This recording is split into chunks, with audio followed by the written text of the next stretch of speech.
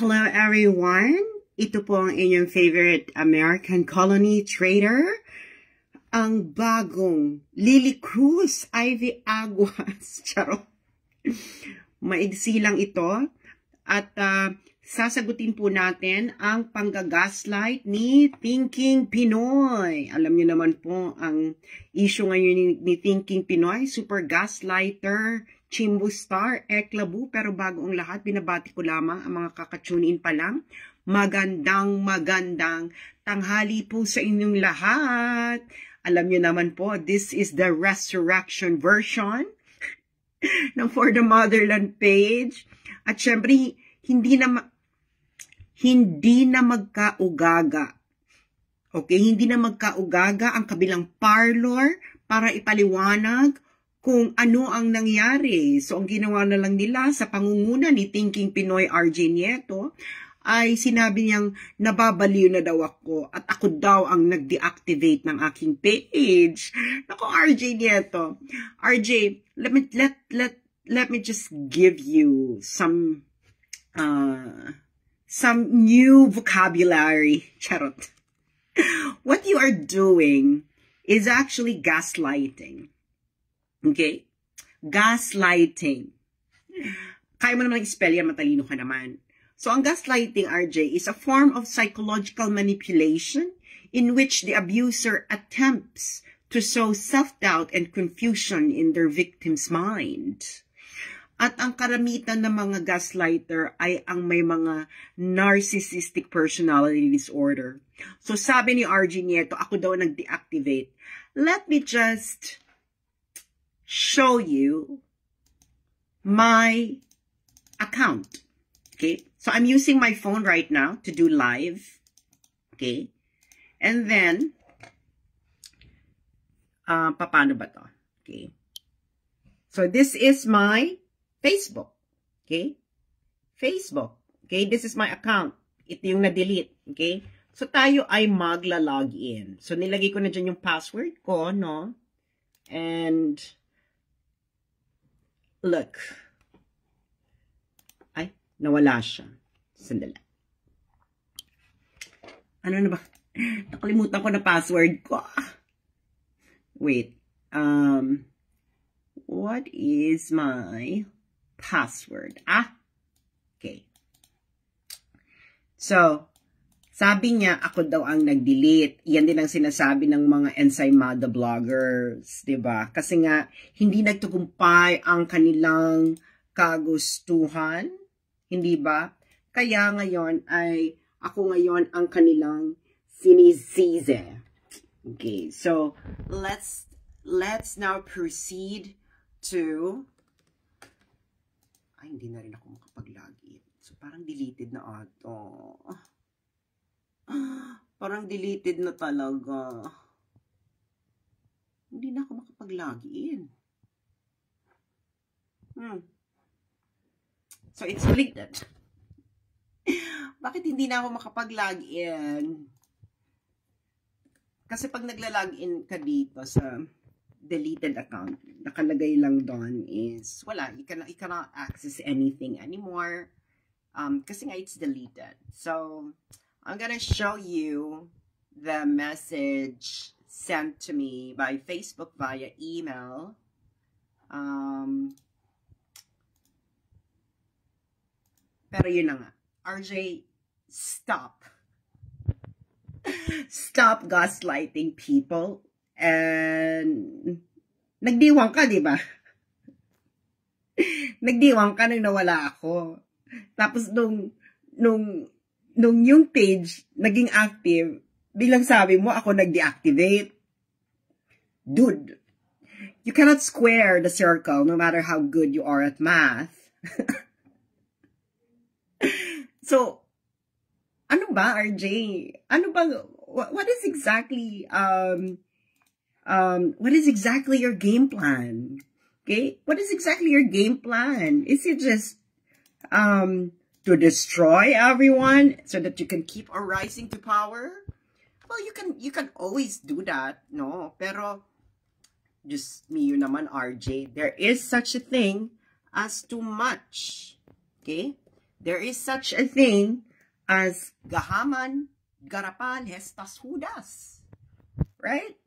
Ikaw na rin ang nagsabi sa ating dalawa, RJ, na remember what you told me in your love letter last December 2017?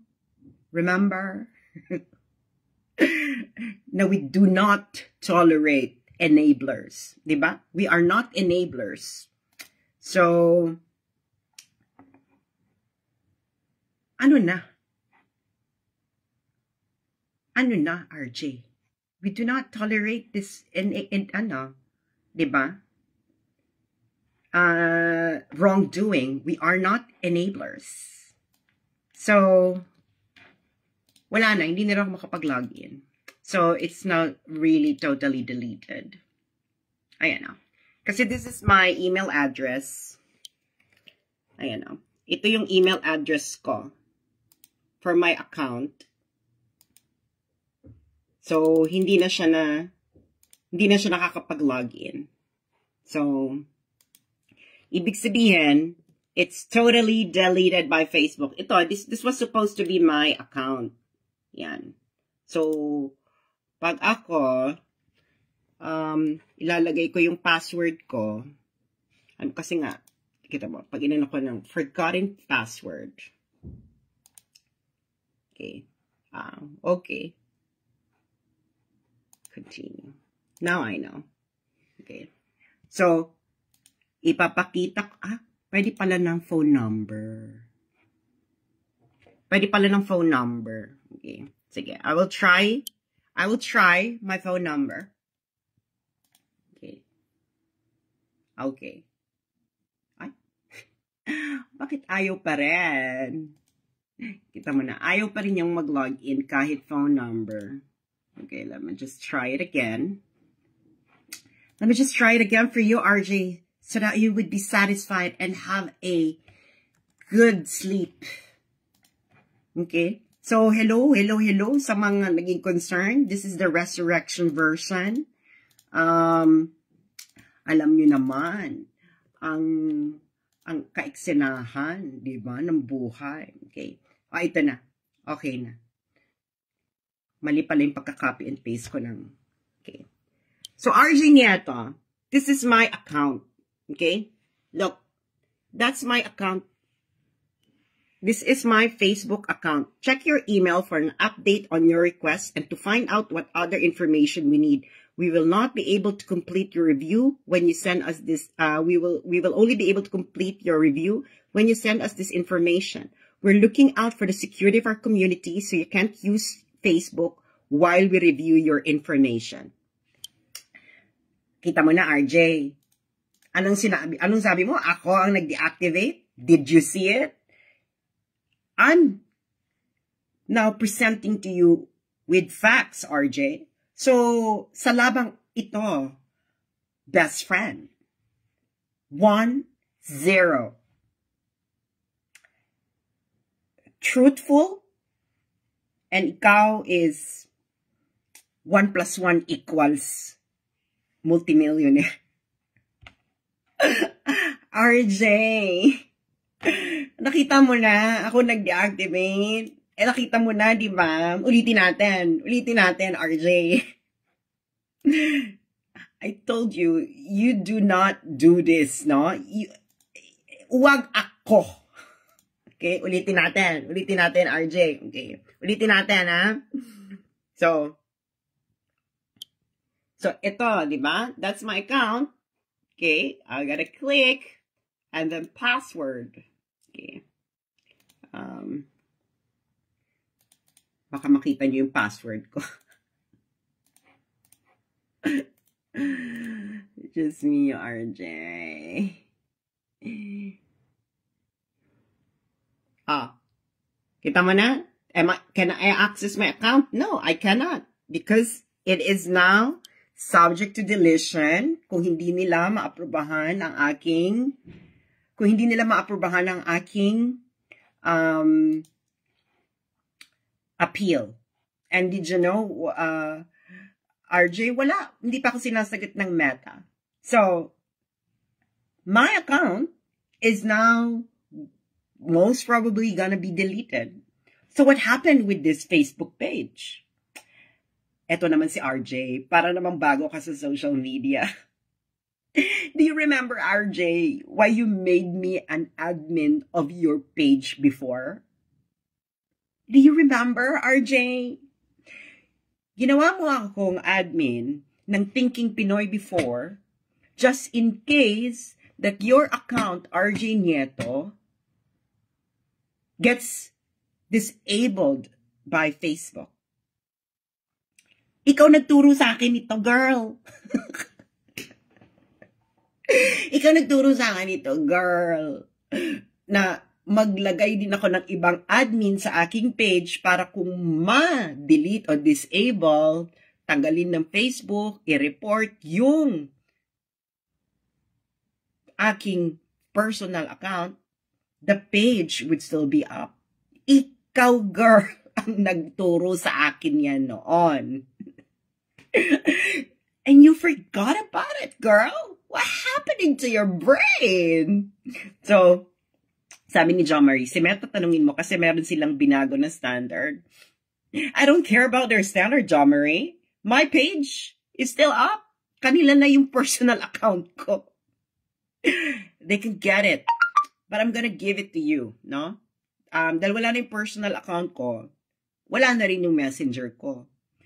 So, all the incriminatory texts and videos sent to me by my best friend are gone. you know, gone girl. so, ayon. So, I'm now accessing my my face um, my Facebook page through my phone through one of the administrators of the Facebook page. So my Facebook account is deleted. You succeeded there. But the problem is you did not succeed in eliminating my total presence. so, yun nga, di ba? So, ano na, uh, nag, syempre gumawa na rin ako ng mga advanced precautions kung anong gagawin nyo sa page ko. O, ano na, alam ko na, alam ko na yung mga tactics, no? I, I know all the tactics.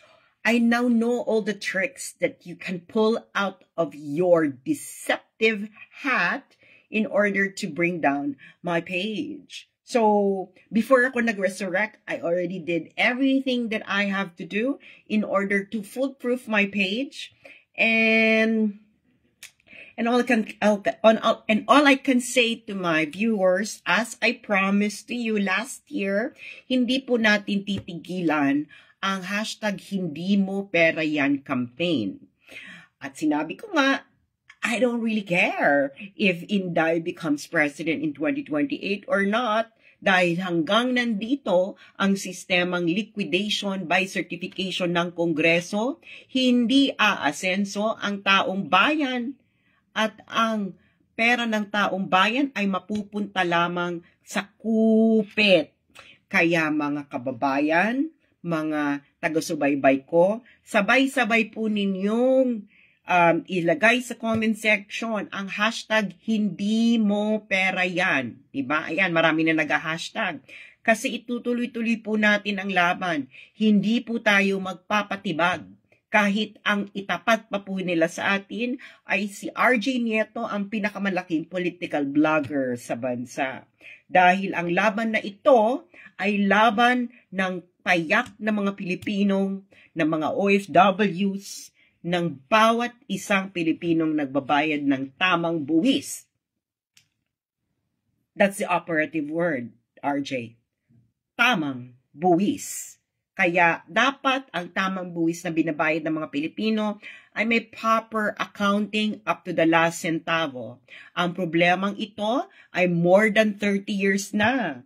Sana naman ay gawin natin ang lahat ng ating makakaya kahit ang ipangtapat pa, na, pa nila sa atin ay ang pinakamalaking vlogger na si Thinking Pinoy. Gawin natin ang lahat ng makakaya natin para matapos na ang problemang ito sa ating generation. Diyos mio, para naman yung mga apo ninyo, mga, mga friends, mga mother, father, ba? Yung mga anak ninyo, mga apo ninyo, hindi sila mabubuhay sa isang lipunan na ang Kongreso ay hindi nag-liquidate with resibo ng MOOE. Hindi ba?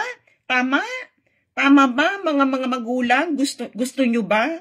Sabihin nyo lang, kung ayaw nyo, tatahimik ako. Gusto nyo ba na sa generation nating ito, matatapos na mababago ang sistema ng liquidation by certification ng Kongreso? Okay? So, gusto nyo yon? Do you like it?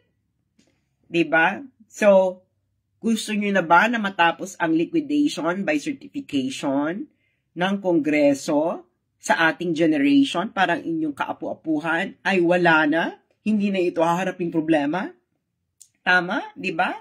Tatapusin na natin dapat itong legalized corruption scheme na ito. Para ang kinabukasan ng inyong mga anak. Wala, hindi na ako magkakaanak no, at wala akong matres. so, para sa inyo, di ba?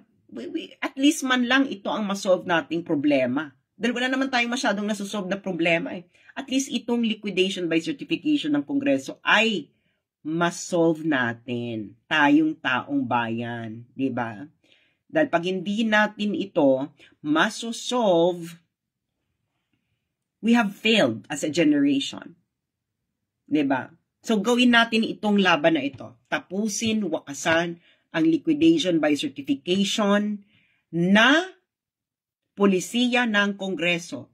Dahil hindi ito tama, ito'y galawang kupid, legalized corruption. Kaya't sabay-sabay tayo, hindi mo pera yan. Maraming salamat po. At i-discuss ko po uli, i-resurrect po uli natin ang isyong hindi mo pera yan para yung mga hindi po nakakaalam ng issue kasi dinilit nila yung account ko, nandun lahat ng aking mga sinulat tungkol sa issue na to. So, i-resurrect natin, bolder, stronger than ever. So, hashtag hindi mo pera yan, resurrection version. Thank you so much and tapusin na natin ang problemang ito. Maraming salamat po.